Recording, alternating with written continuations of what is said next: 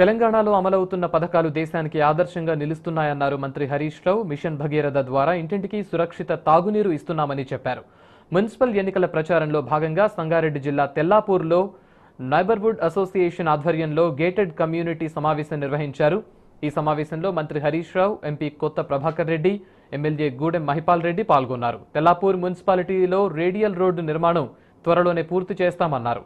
విద్యుత్ సరఫరా సమస్య లేకుండా సబ్స్టేషన్ నిర్మిస్తామని హామీనిచ్చారు.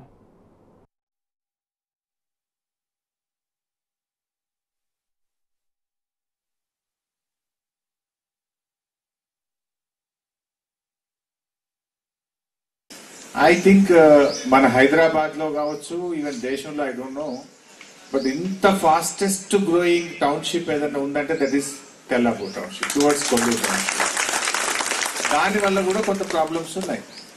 బట్ మీ అందరికీ కూడా తెలుసు గౌరవ ముఖ్యమంత్రి గారు చంద్రశేఖరరావు గారు వచ్చిన తర్వాత ఇవాళ most happening state in the country is Telangana in that there no doubt ఎట్లా ఇది మనకు మనం చెప్పుకోవడం కాదు. It is not that I'm certifying my government the whole country is certifying whole country is looking towards Telangana unique programmes అవన్నీ కూడా ఒక model programmes మనం చేస్తే వాళ్ళందరూ కూడా వాటిని చేస్తూ ఉన్నారు.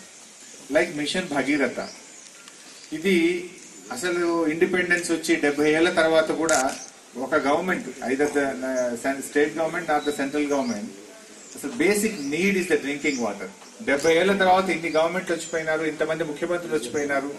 ఆ బేసిక్ నీడ్ ప్రతి ఇంటికి స్వచ్ఛమైనటువంటి శుద్ధి చేసినటువంటి త్రాగునీరు ఇవ్వాలనేటువంటి ఆలోచన ఏ ముఖ్యమంత్రి ఏ ప్రభుత్వం చేయలేకపోయినారు.